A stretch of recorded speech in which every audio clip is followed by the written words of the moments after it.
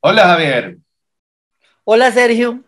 Bueno, pues eh, antes de empezar con la charla que teníamos programada el día de hoy, que es nuestra charla de viajes y libros, eh, queríamos rendirle un pequeño homenaje al maestro Antonio Caro, que nos enteramos ayer que falleció.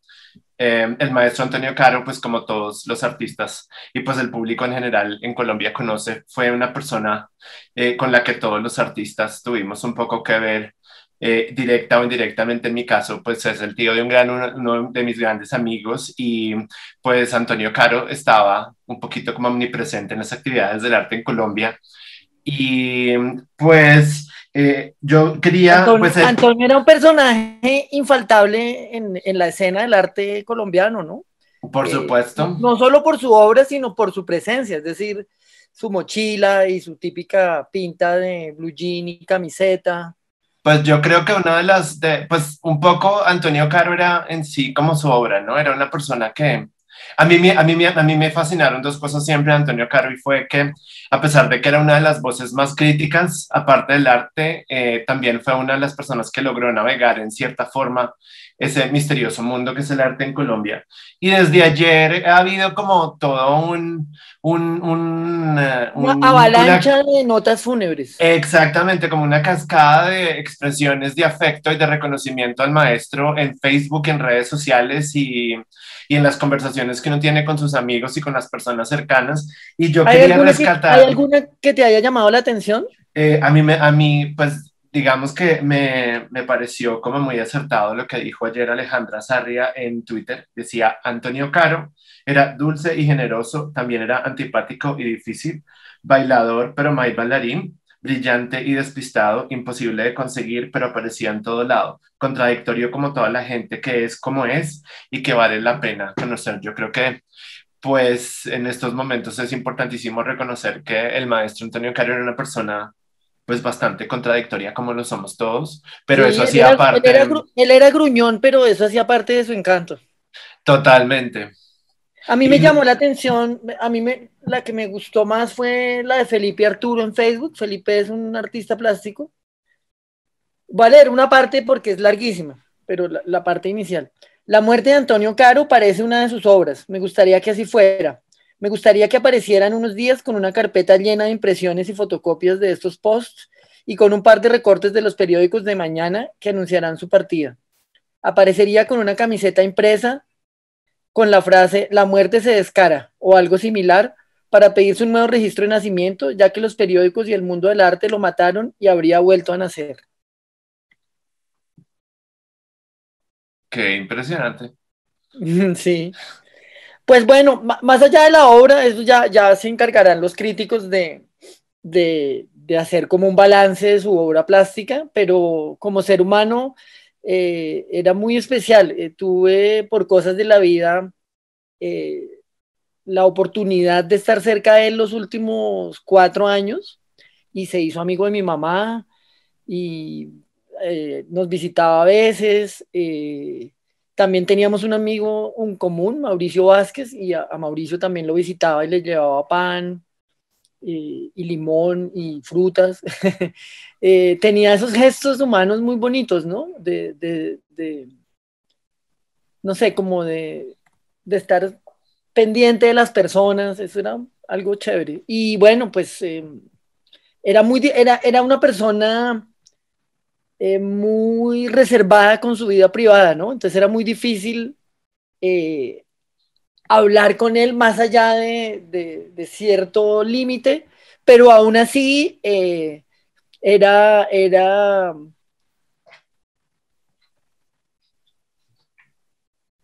no sé cómo decirlo, era, era agradable poder estar con él, ¿no? Poder escucharlo por teléfono, por ejemplo, siempre con su, eh, Antonio Caro, y se despedía, gusto, gusto.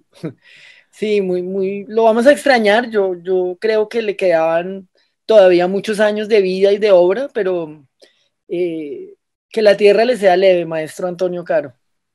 Omnipresente, como dice Alejandra, pero difícil de conseguir. Yo creo que tengo, las imágenes que tengo de él es de una persona que, pues eso, era, era un poquito difícil acercarse, pero también era muy cercano. Él era muy buen amigo de muchos artistas. Em, era un gran amigo de mi primo Diego, que, Diego Sierra, que es artista plástico también. Y, em, y los recuerdos que tengo de la última vez que lo vi fue en el, en el lanzamiento de un proyecto en el que él trabajaba, que era eh, sobre la Gran Colombia. Y em, también, pues como, te, como estábamos diciendo, era muy fácil encontrárselo en cualquier parte en Bogotá. Era una persona que también era muy sonriente. Mm. Y y yo creo que, bueno, hay que seguir mirando su, obra, hay que seguir. Y no olvidemos que todo siempre está muy caro. Está muy caro. Bueno, empecemos nuestra charla de viajes y libros. Bienvenidos a todos, eh, a un gran abrazo y a las personas que eran cercanas a Antonio Caro. Y pues empecemos a conversar con Javier sobre viajes y libros. Viajes y libros. Hola Javier, ¿cómo estás? Bienvenido, es un placer verte. Eh, Hola Sergio, ¿qué tal? Eh, bien, para toda la gente que se está conectando y nos está viendo, pues la persona que me acompaña en este momento es Javier Pinzón.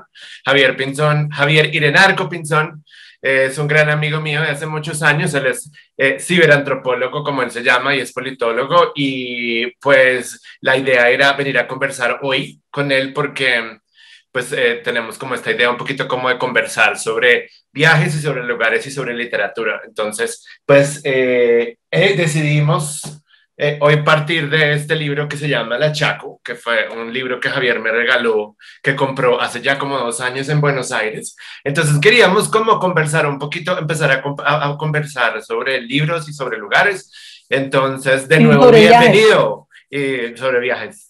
Bueno, para mí es un gusto estar con Sergio, que es artista plástico, magíster en estudios culturales, eh, docente, traductor y un buen amigo, sobre todo.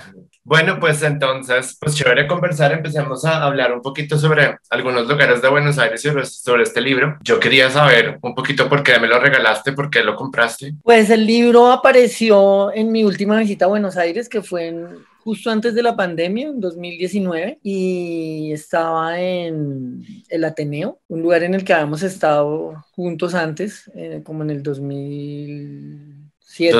2006 o 2007. Bueno, entonces, y nos había encantado porque nos parecía fantástica esta librería que fue un teatro y que fue adaptada para librería y es como el Teatro Colón, pero con libros, llena de libros y un sitio para tomar café y, es como el paraíso de la gente que le gusta los libros, ¿no? Es muy, muy impresionante. Entonces em, fui, me encontré con una muy buena amiga mientras me esperaba afuera, entré y compré estos libros. Ah, bueno, y cuando vi este libro pensé inmediatamente en ti. Pensé que te iba a gustar, sé que has estado últimamente muy en contacto con el tema de la gente trans. La verdad le pregunté a un librero, ahora que me acuerdo, y él me dijo, mire este libro, le va a gustar a su amigo. Y entonces te lo traje. Y no, te lo pude entregar sino hasta el año pasado, ¿no? En plena pandemia. Hasta, este año. Hasta este año, es verdad. Creo que fue, fue hace como un mes que yo pasé a visitarte y me entregaste este libro. Yo estaba leyendo a Vargas Llosa, estaba leyendo La fiesta del chivo y cuando me paré de leer ese libro, cuando terminé ese libro, Juan Sola es como Ahora, ayer estábamos viendo, ayer que hablamos, eh, estábamos viendo que es un hombre como relativamente joven porque nació en el 89.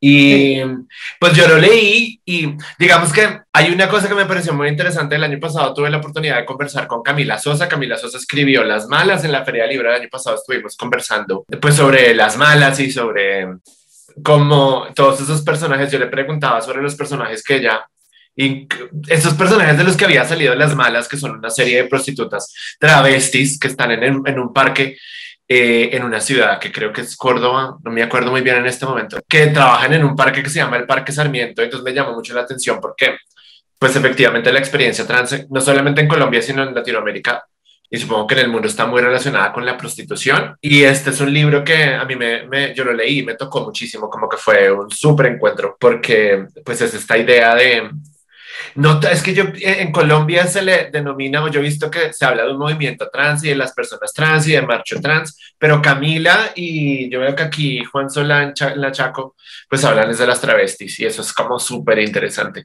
como toda esta experiencia tan dolorosa de construir una entidad travesti y de ocupar un lugar en el mundo siendo travesti Y, siento que ayer pensaba mucho en eso y he pensado mucho en este, en este libro de Juan Solay en la Chaco. También cuando uno... Siendo un, personaje marginal, siendo un personaje marginal en muchos sentidos porque ella además de ser travesti, es pobre, es de provincia, eh, como que tiene muchas cosas en su contra, ¿no? Y termina en la capital, pero... Pues yo creo que esa es como la gran experiencia como travesti de la que ellos hablan siempre, ¿no? Como de ser alguien y, y, ganarse un lugar en el mundo, un lugar que supuestamente todos deberíamos tener porque somos seres humanos, con todo en contra, con todo en contra y ocupando como esos lugares, las discotecas y, y a mí me llamaba, yo creo que algo que me, me hizo llorar. Yo tuve que leer ese libro como a cucharadas porque la historia de Galaxia es tremendamente dura. Es bellísima. Y yo siento que pasa algo muy parecido con Camila, con las novelas de Camila Sosa y con la Chaco de Juan Solá, y es que son bellísimas, pero uno como que no, yo no los pude leer de corrido porque pues uno tenía que hacer otras cosas y dos, pues siempre tenía que estar como deteniéndome y diciendo hasta aquí llego porque pues es muy duro, pero es fascinante. Y entonces pues volvamos un poquito como hablar de Buenos Aires. Bueno, en Buenos Aires eh, uno de mis lugares favoritos es el jardín japonés, ¿te acuerdas del jardín japonés? Sí, sí. Me parece un lugar especial, pues es el único que conozco. Eh, me imagino que hay más en Japón, nunca he estado en Japón, pero este, este tiene la virtud de, de, recrear como toda la tranquilidad y toda la distribución del espacio de un jardín japonés. De verdad, además que lo, inauguró un emperador, no me acuerdo cuál, no, el actual, sino el anterior. Y me parece un lugar espléndido porque se puede caminar, se puede leer, se puede tomar el té. Eh, es un sitio muy, muy rico. Creo que yo lo que más, me, más me acuerdo de, de Buenos Aires, pues del jardín japonés son los pescaditos a los que no se les acercaba y les ponía el dedo y ellos inmediatamente asumían que uno ya les iba a dar de comer. Entonces todo el tiempo estaban así como... Están, sí, están. están en este momento yo estoy ¿Tú leyendo. me contaste que estabas leyendo Murakami? Cuéntanos de Murakami. Yo, yo leí algo de Murakami hace muchos años. Algo Pues yo llevo varios años leyendo japoneses. Empecé por Kawabata, leí como, empecé eh, la, la, mujer en las dunas, me pareció que es una novela fascinante, es una novela súper chévere, porque es también como ayer, ayer te contaba que me parecía muy extraño, no sé si fue con, con Murakami, que te decía que a mí me parece que la gente empieza a leer a Murakami como que no se puede detener, como que hay que explorar, como que... Pero eh, a veces es muy chévere de leer, entonces uno quiere como seguir leyendo y leyendo y leyendo a ver cuándo se vuelve malo. Pero pues me leí el año, el año pasado, tuve mucho trabajo y uno de los pocos libros que alcancé a terminar, por lo menos en el primer semestre, fue Kafka en la orilla y Kafka en la orilla me pareció fascinante, fue como, es como toda una aventura y tiene que ver un poco como con esa idea de la gente que tiene que, que, es como que vive como una vida normal, pero al mismo tiempo de repente se embarca en unas aventuras y que son unas aventuras absurdas y Kafka en la orilla y este que estoy leyendo ahora que es eh, Crónica del pájaro que le da la, que le da cuerda al mundo también tiene que ver con gatos, como gente que caza gatos o que está buscando un gato y eso es muy interesante. Le había leído a Kawabata y Kawabata me parecía muy chévere. Y a mí siempre hay dos libros ahora pensándolo que me han tocado mucho que fueron pues los de Murakami, pero leyendo a, Kawabata, leí también el libro sobre las historias después del terremoto, después del terremoto creo que es que se llama, y, y me acuerdo un poquito de Juan Villoro con las crónicas imaginarias y las crónicas, porque yo siempre he tenido como una obsesión muy grande con los terremotos y creo que fue después de ver El Niño y el Papa que fue una película que me traumó. Yo vi el niño del Papa y fue como que luego no podía soportarme la idea de que, de que la Tierra se moviera.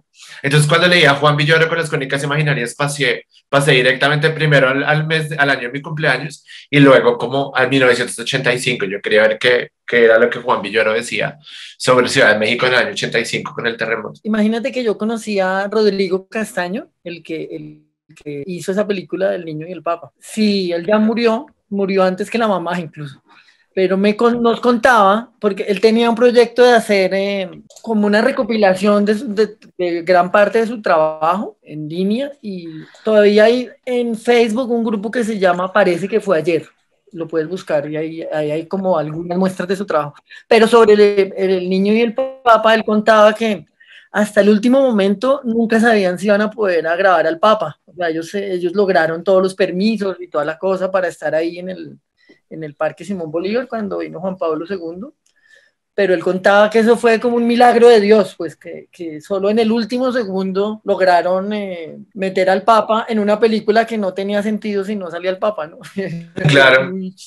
Gran apuesta por, la, por el azar, a ver si funciona. Y funcionó tanto que, que me produjo un trauma infantil. Me acuerdo de estar viendo esa película y, y después, pues esta, esta época, yo me acuerdo que temblaba mucho y también por eso siento que tenía como esta fascinación por leer el libro de Murakami. Y hay unas de las historias incluso que yo utilicé para, para hacer unos podcasts el año pasado de Murakami, precisamente por esta fascinación tan grande que me producía el hecho de que ciudades tan poderosas, tan grandes como Kobe, simplemente pues sucumbieran a, al poder de la naturaleza. Pero bueno, estábamos en México, estábamos hablando un poquito de México y de, y de Japón. Quería mencionar así de pasada a Kensaburo Oe, me parece un autor interesante dentro de la literatura japonesa, eh, pues como toda esa forma de narrar y como los personajes con esas eh, maneras que tienen como de, no sé, como unos dramas ahí raros, pero al mismo tiempo como una contemplación lejana, no sé, me, me, me, gustaba mucho como los universos que crea hoy en sus novelas. Sí, él, el em, creo que nació el mismo año que mi mamá, en, en 1935. Y está vivo, si no estoy mal, está vivo. O sea, de tener 86 años.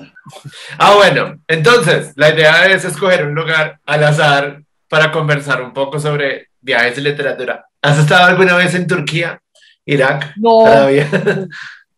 Kazajistán, Georgia. En Turquía físicamente nunca he estado, pero... Emocionalmente sí. Sí, claro. Turquía es un lugar muy importante porque era como el punto de encuentro entre Oriente y Occidente, ¿no? Y la, pues, la caída de Constantinopla. Y... y además se ha vuelto muy popular por las novelas que dan por la tarde. Es cierto, son muy buenas novelas. No las he visto no he visto novelas. Una vez cuando vivía en Londres, yo viví con una amiga turca y ella hablaba francés y hablaba inglés y me enseñó a decir amo el café. Ese creo que ese dice como café sevilloro o algo así. Mi turco nunca, nunca, nunca fue más allá de eso. Volvemos a caer al mismo punto. Esto no funciona mucho. Voy a alejarlo y darle como una vuelta loca y volvemos a Argentina. No, no, dale. Dale otra hasta que caiga en algún lado. Guatemala, Venezuela. Mira, Suecia, Finlandia, Reino Unido. Bueno, pongámonos. Estonia, Letonia, Finlandia. ¿Has viajado por allá? No, nunca. Polonia. Pero ir pronto. No, lo más al norte que llegué fue Praga. ¿Dónde está Praga? Aquí abajo. Aquí está Praga. Bueno, pues hablemos de eso. No, pues inevitablemente hay que hablar de Kafka, ¿no?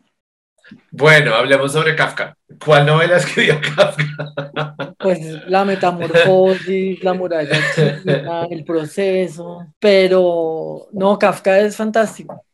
A mí me gusta mucho. Hace muchos años lo dejé leer, pero, pero, pero me, costó trabajo, por ejemplo, terminar el proceso. lo intenté muchísimas veces hasta que lo logré. O sea, el adjetivo kafkiano no es gratuito, es como, como todos esos eh, laberintos, em, no solo emocionales, sino, no sé, como, como esos recovecos por los que los lleva uno, ¿no? Eh, a mí, a mí me impresionaba. Por ejemplo, en el castillo, recuerdo como, como todas esas dificultades a las que se enfrenta el agrimensor, que es el personaje que está tratando simplemente como de conseguir un permiso, como de hacer su trabajo, ¿no? Y nunca entiende porque ni siquiera puede pasar de cierto punto para lograr llegar a... Eh, y todo eso está más allá de su entendimiento, ¿no? Eso es eh, impresionante. Y otra cosa que siempre me, me, me, impresiona es el, el concepto del, del, gatekeeper, ¿no? El guardián de la puerta. Eh, llega un punto en el que el personaje llega a una puerta y, y, él dice, pero ¿por qué no puedo atravesar? Y el guardián le dice, no, porque yo, yo estoy aquí simplemente para cerciorarme que usted no atraviese esta puerta. Y el personaje no, es, es eh, como que alcanza a ser consciente de que es víctima de, de un destino, pero, pero más allá de eso no entiende por qué no puede atravesar la puerta, ¿no? La verdad es que yo leí La Metamorfosis hace muchos años, incluso que estaba como en el colegio y luego no he vuelto a leer a Kafka, pero me acuerdo mucho de un meme que está corriendo ahora que dice, eh, que dice, todo, cuando todo el mundo habla de bichota, entonces ponen como una foto de, de, la cantante bichota que no sé quién es de esta, de esta canción popular, ahora dice, lo que yo me acuerdo cuando me dicen bichota y aparece una foto de Kafka como convertido en bicho. ¿Me estás escuchando? Sí, sí, sí, te estoy escuchando, pero es que no, no, no he visto ese meme, entonces no me... Está, está corriendo mucho en unas páginas que son sobre memes literarios. Ah. Pues fue chistoso cuando me pasó. Pero, pero de Praga me acuerdo, es como esta película de, de, la, de brujas. Y tengo esta imagen de Praga como una ciudad medieval, como absolutamente aburrida. No, no, no, no es para nada aburrida. Es una ciudad fascinante. Debe ser. El, caminar, por ejemplo, por el cementerio judío es impresionante. Atravesar el puente Carlos, el puente, el puente Charles. Es una ciudad linda. El reloj, el famoso reloj. ¿Te acuerdas que hay un reloj, eh, creo que es medieval, eh, que tiene unos personajes? Es un reloj que está en una plaza y tiene unos personajes eh, muy peculiares y va, va, dando, todavía funciona, mecánicamente todavía funciona, entonces la gente se congrega ahí porque cuando da las campanadas los personajes se mueven y, hacen unos movimientos extraños. Países Bajos, Ámsterdam. Esto fue super, sumamente, esto es supremamente eh, random, al azar. Ahora que pienso, estoy intentando pensar sobre cosas que haya leído. Yo estuve en Países Bajos en el año 2004. Hace poquito, bueno, relativamente. hace, hace, hace poquito. en esa época tenía 23 años, 22 años. Para mí, después del 2000, sigue siendo reciente. El siglo XXI es... Es reciente, o sea. Es reciente. Y pensar en esa idea como el siglo XXI, para mí todavía es como... Creo que cuando estaba adolescente uno pensaba en el siglo XXI y el siglo XXI era una cosa que iba a venir y que estaba lejos y ya llevamos 20 años viviendo en el siglo XXI. Pero sí, a pesar de mí me parecía que Ámsterdam era una ciudad del siglo XXI. Uno iba eh, y Ámsterdam, pues a mí me parecía raro cuando yo llegué a Ámsterdam porque uno había muchas bicicletas y el tráfico era horrible por la cantidad de bicicletas que había. Y a mí me parecía que eso era loco y Bogotá está llegando a ese punto. Cuando uno no sabe exactamente dónde van los carros ni las bicicletas ni nada. Y además olía marihuana todo el tiempo y había museo de sexo, las tiendas de sexo, entonces como que el recuerdo que tengo de Ámsterdam era como tener los sentidos absolutamente activados todo el tiempo, como el olor, el sabor, eh, como estar eh, muy excitado todo el tiempo por todo lo que pasaba en la calle. Y además los hombres eran lindos y todo el mundo era chévere. Eh, y, y además estaban todos los grandes pintores del Renacimiento eh, de los Países Bajos, me acuerdo como de mucho hacer fila para ver los cuadros de Vermeer y darme cuenta que eran chiquititos, chiquititos, chiquititos.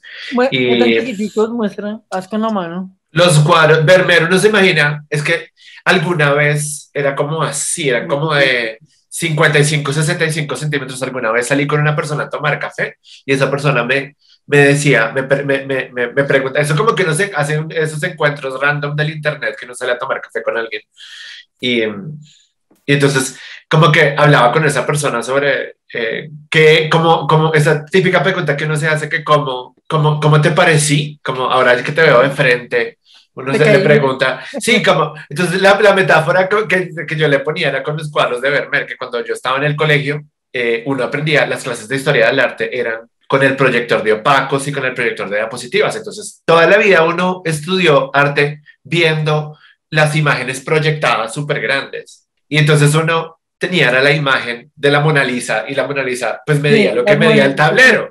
Sí, uno, uno veía las pinturas y, y, para mí me pasó eso con Vermeer, uno, uno veía era Vermeer, pero en lo que era proyectado y cuando llegaba al museo eh, uno pues se daba cuenta que Vermeer es fascinante, pero es así chiquitico, son unos cuadros pequeñísimos, pequeñísimos. Vermeer es este pintor que eh, pintaba estas escenas así como medio teatrales, así pequeñas, con una profundidad y la luz.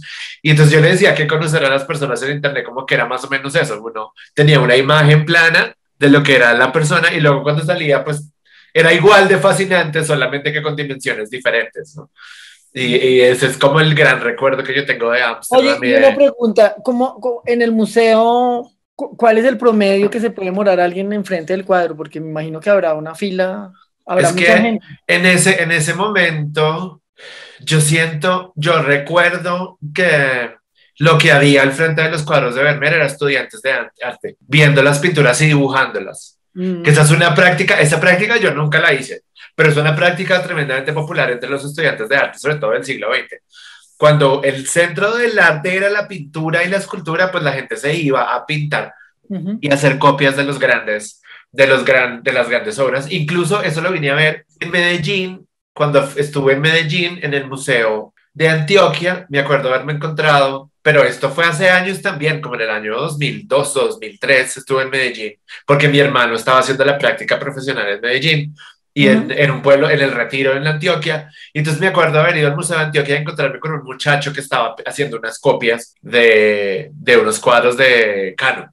Y, y entonces me parecía como, pues súper raro, porque yo nunca había hecho eso, porque para mí la pintura siempre fue estorbosa, uno cargaba una caja grande, entonces cargar todo eso para ir a pintar era súper raro pero pues la, la, gente lo ha hecho. Entonces, yo no sé cuánto se demorará la gente, pero pues uno lo que veía eran estudiantes de arte. Creo que en Vermeer no pasa lo, con lo que pasó con la Mona Lisa, que la Mona Lisa es como filas y filas y filas de gente para verla. Sabes que eh, yo no fui capaz de entrar al, al Louvre por eso, por la, por la mamera de, de enfrentar las hordas de turistas, me parecía una mamera y no dije que sea una excusa para volver a París en el futuro, pero no, no, además que ya estaba cansado, ¿no? Cuando uno viaja y va, a los museos y a las iglesias, llega un momento en que está como saturado y ya no quiere, pues, transcurrir esas jornadas de ver y ver y ver. los viajes son como eso, ¿no? Como saturarse de cosas. Sí, pero llega un momento en el que necesitas descansar porque si no, no, no logras eh, no sé, procesar más información. Pues el otro, hace, el otro día, uno siempre dice el otro día cuando está hablando de cosas que pasaron hace años, pero el, otro, el otro día, hace años, eh, tuve una discusión con un tuitero famoso que se puso bravo conmigo porque eh, yo no me acuerdo con quién había estado hablando, pero una persona me había dicho que eh, la, la, la, la, postura de la gente con la Mona Lisa es tremendamente irrespetuosa porque todo el mundo le da la espalda. Entonces él decía que efectivamente cuando la gente va a ver la Mona Lisa, no la ha visto. Em, pues entonces cuando llega, no la mira, sino que se voltea, le da la espalda y toma la selfie. Entonces, eh, y lo que encuentra uno en internet son fotos y fotos y fotos y fotos de la gente tomando, dándole la espalda a la Mona Lisa, cuando pues uno debería estar viéndola, ¿no? Y entonces yo le dije eso cuando vi, cuando vi la, la eh, pues también es como de esas cosas que uno comete el error de meter la cucharada en la vida de alguien más y en la cuenta de Twitter de alguien más. Entonces cuando vi su foto de esta persona contándome un poco sobre, o sea, esta persona puso una foto dándole la espalda a la Mona Lisa, entonces le dije como, ay, es que la gente le da la espalda a la Mona Lisa porque se toma la selfie. Y la, y la persona lo tomó como un insulto, cosa que suele pasar todo el tiempo con las redes sociales, la gente se toma todo como un insulto, pero fue, pero, pero pienso en, en, la Mona Lisa. Bueno, pues no sé, podemos pasar del lugar y hablar de otra cosa, o, pero no sé cómo hacer para que esto sea random porque no se puede hacer que vamos sea. A tener, vamos a tener que encontrar un, un, ¿qué? un mapa mundi, un mapa mundi, no, sino un, ¿cómo se llama? Un globo terráqueo eh, físico para poder. Sí, como para poder así. como en esta estepa oscura. Hay unos documentales buenísimos que yo creo que yo me los disfruté y los he visto como tres veces, que son los, los Zares de la, el, de, ese documental que en, en en Netflix sobre los, sobre los Romanov.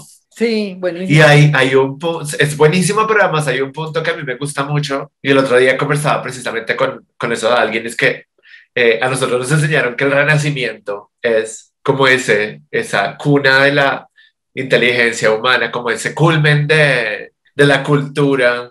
Pero resulta que el renacimiento pasó en Florencia y sucedió como en los Países Bajos eh, y ya, o sea, como que es una cosa muy contextual, muy centrada, muy, pero focalizada en esos, en esos centros urbanos. Entonces, uno de los puntos que hace el, el documental al principio, que hace la, la señora esta que hace el documental, es hablar sobre cómo en Rusia algo parecido al Renacimiento vino a llegar mucho después, que mientras que en Europa eh, el Renacimiento estaba en pleno furor, eh, en Rusia todavía seguían, digámoslo así, se puede decir como en, un, en, un, en una especie como de proto-renacimiento que no despegaba mucho y además, eh, pues está en, en, Rusia lo que dicen, lo que decía el renacimiento es como que eh, lo que se pudo llegar a superar con el renacimiento en Europa, que fue la servidumbre, en Rusia no se superó, pero además todo lo que soporta el renacimiento eh, culturalmente pues es la esclavitud de, de, África y el sometimiento de otros pueblos. Y el oro, el oro de América.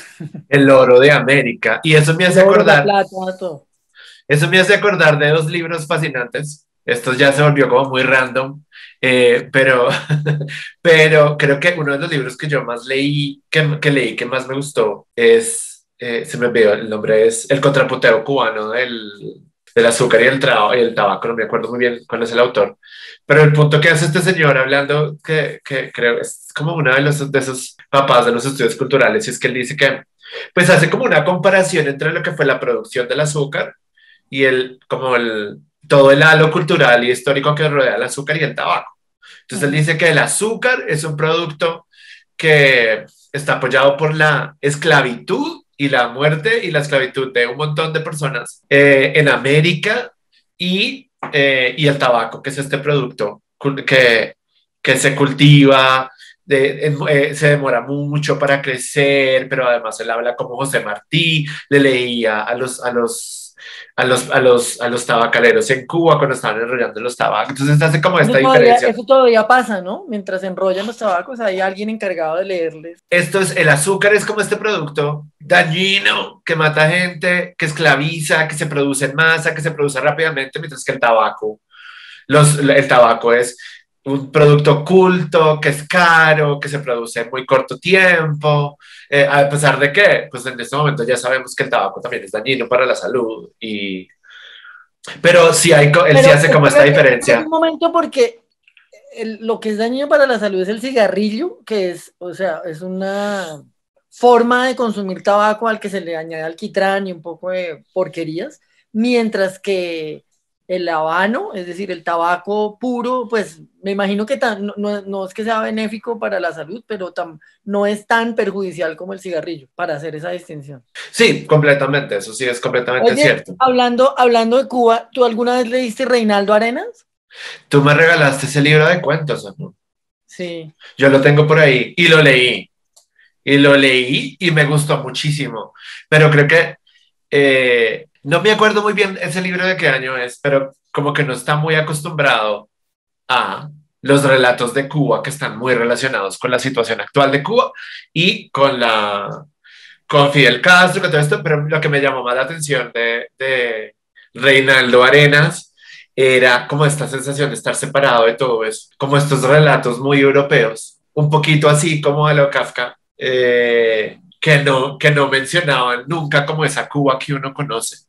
Y recuerdo, tengo este recuerdo, no me acuerdo de este cuento que es fascinante de Reinaldo Arenas, que lo leí varias veces y lo volví a leer porque era como esta, este señor que llegaba a vivir como una pensión, como una residencia, era como una casa elegante donde había mucha gente.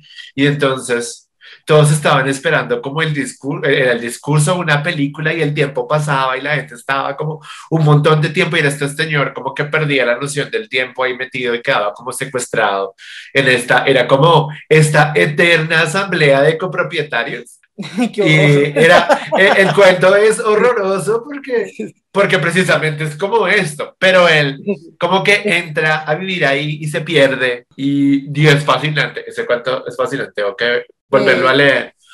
Una, una eterna asamblea de copropietarios es como otro círculo del infierno, ¿no? Totalmente. Sí. sí. Fernando Arenas, eh, pues siempre fue un disidente y bueno, pues terminó en Miami, murió de SIDA y murió creo que en el 90. Y me acuerdo que decía, una de las, de las cosas que citan mucho que él dijo es que el comunismo y el capitalismo eran la misma mierda. La diferencia es que si te dan una patada en el culo, en el comunismo tú no podías decir nada y en el capitalismo sí podías protestar, pero, pero era, era básica, para él era como igual de... Ambos sistemas tenían sus... Pues sí. él se suicidó, él tenía SIDA, pero se suicidó. No, resulta que Resulta que es Virgilio Piñera. Ah, Virgilio Piñera, claro. Este, el de la eterna asamblea de copropietarios es Virgilio Piñera. Virgilio Piñera.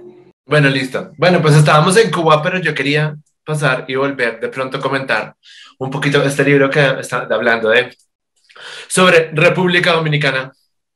Resulta que estábamos un poquito al lado de Cuba y de Haití y eh, hablando de, de, estos dos países acabo de leer, ¿cómo se llama? Eh, la fiesta del chivo de Vargas Llosa. La fiesta del chivo. Y me, pues me llamó mucho la atención, pues me llamó mucho la atención, no, creo que me envolvió como en, en un frenzy de averiguar sobre eh, Leonidas Trujillo, el dictador, sobre todo porque pues fue una persona que subió al poder en 1930 más o menos y lo asesinaron como en 1962, o sea, él fue dictador de República Dominicana por 30 años. Y ayer estábamos hablando de una cosa que me llamó mucho la atención porque empezamos a, la, la, conversación que tuvimos ayer, hablamos sobre Manaus y tú estabas hablando sobre esa huella de Europa en esa ciudad en medio del Amazonas, creo, ¿no? Es como, era un, un poquito eso, como tú me decías que te, hubiera gustado. La, la lavandería Europa porque no pueden lavarla in situ, sino si no se lava en Europa no quedaba limpia. No quedaba limpia y entonces yo después de que leí eh, La fiesta del chivo y mientras leía La fiesta del chivo, pues me llamaba mucho la atención como pensar sobre qué podía pasar, o sea, si, si esa huella tan dura que dejó Leonidas eh, Trujillo, el dictador, en República Dominicana todavía existe. Y resulta que, eh, pues resulta que, que, lo que lo que cuenta el libro es un poco esta, esta, ¿cómo se llama? Como este señor subió al poder, primero le cambió el nombre de la ciudad, porque la ciudad se empezó a llamar Ciudad Trujillo, y tú estuviste, tú viviste en República Dominicana. Y dos años. Dos años en República Dominicana, pero a mí lo que me parecía tan loco es no encontrar como, tal vez es porque no fui a una biblioteca, sino que estuve buscando en Google, como no encontré huellas visibles. Creo que queda como un solo museo de Leonidas Trujillo, donde están muchas de sus cosas, pero el resto pasó, pasó lo que le pasó como a Pablo Escobar en Colombia, como queda, queda en ciertos lugares pero pues el paso del tiempo lo ha borrado todo, pero sobre todo una voluntad política, siento yo, como de borrar esos 30 años de dictadura y de acabar con lo, todo lo que oliera a Trujillo, y eso me pareció impresionante. Pero pues, ¿por qué no me cuentas un poquito sobre tu experiencia? Pues yo quería contar que esto que estamos viendo, el mapa, me acuerdo de una obra, de una fotografía, era una fotografía, pero era una obra de arte plástico eh, en una exposición en Santo Domingo, eh, en el Museo de Arte Moderno probablemente. Y era, no recuerdo el nombre del artista, pero me impresionó porque era una fotografía satelital desde la cual se ve perfectamente eh, República Dominicana diferenciada de Haití por la deforestación. Entonces, mientras República Dominicana conserva un color verde y como con ciertos grados de color, eh, Haití está totalmente árido, o sea, está devastado, está rojo, ¿sí? Es, tiene muy poquitos puntos verdes.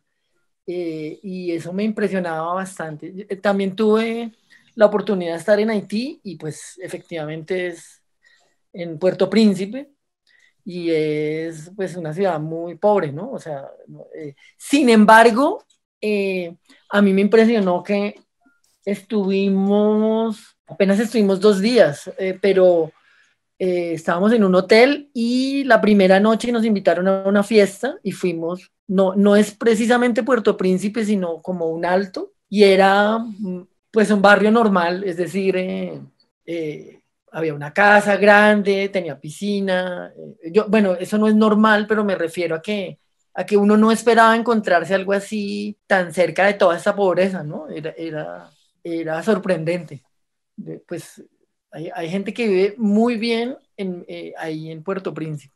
Pero yo creo que esa es como la realidad latinoamericana, ¿no? Sí, sí, exacto. Que ah, yo no sé, yo no, yo a veces siento que, que Haití es un, es como un lugar muy extraño para nosotros, a pesar de que está aquí como a tres cuadras. Pero esa gran diferenciación. históricamente fue muy cercano, ¿no? Porque pues eh, Petión fue el que, el que apoyó a Bolívar, fue como el, el primer, la primera nación en declarar la independencia y, Occidente y sobre todo Francia nunca se lo perdonó, pero, pero digamos que ellos apoyaron todo el proceso de independencia cuando apenas se estaba formulando, cuando apenas estaban haciendo y posiblemente sin ese apoyo no hubiera encontrado como el punto crítico que necesitó después, ¿no? Entonces siempre hubo lazos muy fuertes con Haití. Pero parece que esos lazos, esos lazos de, se, se desvanecieron. Y hay, hay, hay, dos cosas. Acabo de acordarme de un podcast que escuché el año pasado sobre la, estaba, digamos que hay un, hay un módulo que yo dicto cuando dicto arte y ciencia en la escuela eh, y que es sobre la radio y hay una cosa que me llamó mucho la atención pensando como con esos lazos que, esos lazos que se diluyen y resulta que hablaban sobre esta radionovela que se producía en Cuba que se llamaba El Derecho de Nacer yo no sé. Y uno de los datos que me impresionó solo leer sobre el derecho de nacer es que lo que decían en la radio nacional es que eh, la relación cultural entre Cuba y Colombia era una relación supremamente cercana antes de la revolución y, y después de la revolución a través de la radio. O sea, como que Cuba producía mucha radio, mucha novela, mucha literatura que llegaba acá y la relación que tenían los colombianos con Cuba pues fue muy fuerte y luego eso se desvaneció. Y yo siento que sí, precisamente con Haití pasa algo parecido, es que... La radio y la televisión, acuérdate que los técnicos que vinieron a, asesorar a Colombia cuando se instaló la televisión durante la dictadura de Rojas Pinilla fueron técnicos cubanos. Eso me parece supremamente interesante y no me acuerdo qué más, había algo más que quería decir. Ah, pues pues a mí lo que... Hay dos cosas que pienso cuando, pero cuando pienso en, en Haití, cuando pensé, pensé en AMSC, el poeta martinico, y pensé en máscaras negras, pieles, ¿cómo es que es? Pieles negras, máscaras blancas, que es este otro texto culmen de los estudios culturales que uno tiene que leer siempre que eh, estudia sobre los estudios culturales, que es sobre, eso es de, de Franz Fanon, que habla un poquito sobre ese, como esa falta de, de eh, autoestima. eso es como mucho más complejo, pero lo que dice él un poco es que eh, muchos de los viajan a Francia eh, por, por la, por, porque en Francia pues pueden hablar francés, pero terminan haciendo como un proceso de conversión en el que se vuelven como estos personajes raros que son como negros que intentan blanquearse eh, ese, ese tema esto es sumamente fascinante. Bueno, después de haber dado como esta vuelta por el mundo, alcanzamos a ir a Europa, al Caribe, a Rusia, eh, a Japón, volvamos a Bogotá. Y últimamente me gusta mucho ver esas fotos antiguas que publican en los grupos de Facebook, como de Bogotá antigua, fotos antiguas de Bogotá, cosas así, para comparar cómo era antes Bogotá y cómo es ahora, ¿no? Y sin embargo, soy muy crítico como de esa postura de la gente, como que, ay, como era Bogotá hermoso y todo lo que perdimos y no sé qué, es como una, como una nostalgia del pasado que para mí no tiene razón de ser, pues porque las ciudades se transforman y no van a seguir siendo siempre lo mismo, ¿no? Sin embargo, pues naturalmente que, que hay que conservar cierto patrimonio arquitectónico y tratar como de no destruir todo porque eh, usualmente la, la, nueva arquitectura no siempre es mejor que la anterior. Eh, pero me llama mucho eso la atención, ¿no? Que, que, como que la gente añora mucho y además que siempre son los mismos lugares de memorias, como la carrera séptima, la plaza de Bolívar, eh, la carrera décima, la entrada a Bogotá por la, por la calle 13, sí, que era además donde, donde siempre se sacaban fotos, ¿no?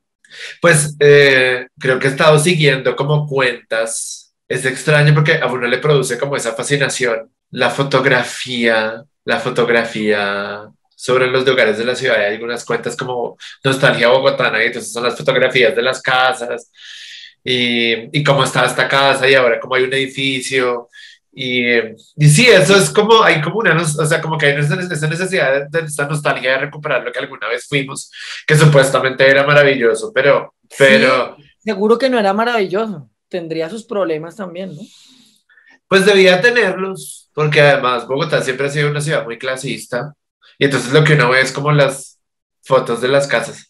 Yo siempre cuando pienso como en esa necesidad de la nostalgia, pienso en el libro, cuando, cuando ese libro que leí, He leído dos cosas que me parecían muy chéveres, porque además le entregan a uno como esa noción de lo que fue, que es imposible de recuperar del todo porque no, no puede viajar en el tiempo, pero uno era el libro de eh, Hijos de las Estrellas, Historia de la localidad de Kennedy, y el punto más chévere que ellos hacían, pues precisamente pareciese que la historia de Bogotá y la historia de la localidad de Kennedy llega primero hasta, hasta Kennedy. Entonces, la, Kennedy comenzó con la localidad de Kennedy. Y ellos dicen, no, eso no es así. La historia de Kennedy va mucho más atrás. La historia de Kennedy es una historia del agua, es una historia de las haciendas, es una historia de los asentamientos indígenas, es una historia de la gran laguna de Futse, que va miles y miles y miles de años atrás. Eh, lo que ha pasado es como una sucesión de capas y de construcciones y de casas que, que hacen pues que sea como imposible tener esa nostalgia por lo que pasó, porque lo que pasó siempre cubrió algo anterior. Y lo otro era el otro, el, libro de las haciendas, que yo no me acuerdo quién era, hay dos libros. Ese libro es súper importante para entender toda la lógica del desarrollo urbano en Bogotá. Claro, porque eso todavía, eso todavía está. Hay, hay dos. Hay un libro de las haciendas que es grande, que es un libro que que es gruesito, y el chiquito de esta colección pequeña, que le cuenta a uno como esas pequeñas historias de lo que eran las haciendas en Bogotá, de cómo el territorio se subdividió y de cómo los indígenas que estaban acá, que adoraban la laguna, que adoraban, que vivían como en sus bohíos y que tenían todo un tipo de cosmovisión y unas dinámicas, pues fueron mandados como ciertos espacios y luego se les compró y se les sacó para otros lados y entonces la ciudad empezó como a subdividirse en haciendas y, y, y luego eso empezó como a crear estos espacios y Bogotá tiene como esos, esos, esos lugares que vos uno quisiera como poder dividir que son como los de las haciendas mm. pero además que esas haciendas cubrieron y ocultaron toda esta historia anterior de personas que vivían acá. Y, y además, pues hay un punto que yo siempre hago y es como eh, la ciudad simplemente acabó con esas grandes masas de agua que la cubrían. Podríamos perfectamente... Es, una gran pérdida eh, haber perdido la, los humedales, ¿no? Y como toda la posibilidad de diversidad que tiene la sabana. Esa, esa, es una, esa es una nostalgia que a mí sí me da. Eso, es antes que las casas, porque es que las casas igual se caen y la gente las compra. Y todo lo que decías tú, un poco, y todo se, se, se rinde al comercio. Yo sí pienso que esas grandes extensiones de agua, eh, Bogotá sería una ciudad completamente diferente si hubiéramos respetado la, la, la, los, los, esos, esos ríos y esas lagunas eh, Bogotá sería una ciudad completamente diferente. Yo creo que todos vivimos, pues no sé si maravillosa, porque eso trae sus problemas. Sí, otra, otra. Pero, pero sería otra ciudad completamente diferente, tal vez viviendo un poco más eh, alrededor de esas dinámicas del agua, que pues se fueron perdiendo y ahora lo que tenemos es una lucha barrial constante por conservar humedales y un pajarito y 500 especies, cuando deberíamos estar pensando en esta gran... ojalá hubiera alguien pensado como esta ciudad que convive alrededor del agua y que permite que el agua circule. Eh, fíjate, fíjate, en ese mapa, así por encima, pues es apenas un indicador, ¿no? Pero cuántos pedazos verdes, no, ahí, fíjate cuántos pedazos verdes uno alcanza a ver aleja un poquito más la, el mapa. Está el Parque Simón Bolívar, el Country al norte y unos, unos tres parques al sur, el, el Jardín Botánico, y, y, pero hay muy poquito, ¿ves? Eh, realmente eh, las zonas verdes. Creo que Bogotá tiene como 20 localidades. Bogotá tiene 20 localidades y, y cada localidad tiene como un eh, un espacio verde o tiene un, un, ¿cómo se llama? Se me olvidó la palabra, un, un humedal y, y pues, pues eso es triste sabiendo que, por ejemplo, toda esta zona de Kennedy, todo este sitio era agua y todo lo que era el lago era agua. Oye, eh, antes de que se me olvide un chiste sobre Kennedy. A ver. Nunca olvidemos que Kennedy da las tejas. Supongo que eso debe tener como la, con la noción de techo. Eh, pero no sé. Tiene todo que ver. Explícame el chiste. No, no, los chistes nunca se explican.